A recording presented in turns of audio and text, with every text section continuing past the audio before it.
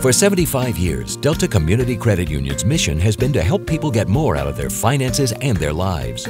Our employees have always embraced the opportunity to give back to the communities where we live, work, and serve, with a focus on education, financial literacy, and the health and well-being of children.